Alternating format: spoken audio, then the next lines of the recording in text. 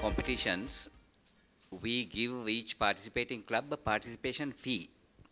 And this is not just something that we started in the recent times. It has been going on for the past so many years. In addition to that, when a club makes a request, that is evaluated by evaluation committee. And on the strength of that, we provide to develop infrastructure. So particularly during the uh, COVID time, our assistance was uh, sought by many clubs because as you know, even clubs like SSC made requests for various, uh, uh, you know, uh, machinery and uh, uh, other, other assistance. So in order to sustain the clubs, it is our imperative and our responsibility as the parent body to support clubs.